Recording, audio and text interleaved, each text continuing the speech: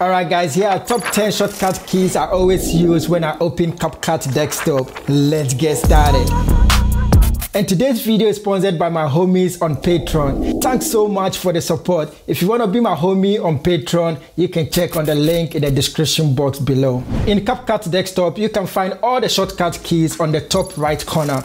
Just click on shortcut there you can find all of them from this pop-up window. You can customize the keys to your preferred keys. You can do that by clicking on the key, input your preferred key, then click on save to save it. And now my top 10 shortcut.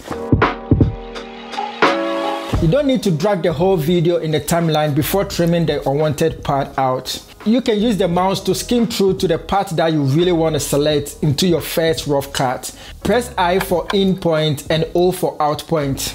Then later drag that part into the timeline. And that alone will make you go through your rough cut stage really fast.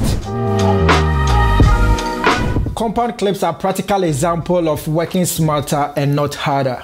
Compound clips allow you to group multiple clips, images, and audio together in the timeline, and that makes it easy to add effects to that very multiple clips.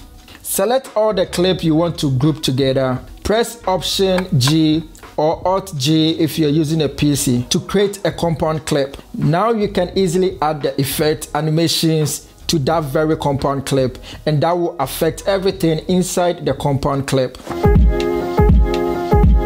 This is direct opposite of the previous one. This is when you want to make some changes to the videos inside that compound clip. Select that compound clip, press Shift Option G or Shift Alt G if you're using a PC to undo that very compound clip. Do the necessary changes and press Option or Alt plus G to create a compound clip again you can only get access to the keyframe animation if you've created two keyframe points on that very clip or an image. In the timeline is an image and I'm going to add two keyframes to it. Now press Option or Alt plus K to show the keyframe animation. Then you can easily work on the curves to smoothen that animation. Once done, you can press Option or Alt plus K again to hide that keyframe animation. Take your playhead to wherever you want to make a split. Press Command or Control plus B to split or cut that part. If the clip is on top of another clip, then take your playhead to where you want to make the cut. Click on that very video, then press Command or Control B to split that part.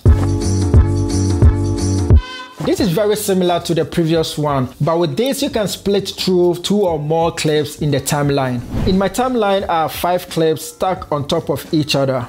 Just take your playhead to where you want to make the split press shift command plus B or shift control plus B if you're using a PC to split through all the clips in the timeline. You can then delete the part that you don't want in the timeline. And before we continue on, these are basic shortcut keys that you need to know as a video editor. This runs across all the softwares that you'll be using when it comes to editing.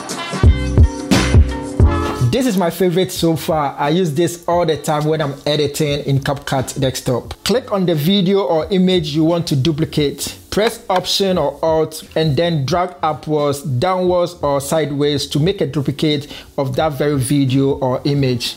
And with this, it's a must know. You're gonna use this a lot when it comes to editing in CapCut desktop. This, if you've been watching my tutorials, I've been using these shortcut keys a lot. This is where a video or an image is below another video or an image and you want to see that very video. Click on the top video, press V to disable it. From here, you can see the video below it and then work around it. Later, if you don't want to see that video below, click on the top one, press V to enable it back. This makes it easy to jump 10 frames forward or backwards in the timeline. Take your player to where you want it to start. Press shift plus arrow forward to jump 10 frames forward. Or if you want to go back 10 frames backwards, press shift and arrow backwards to jump 10 frames backwards.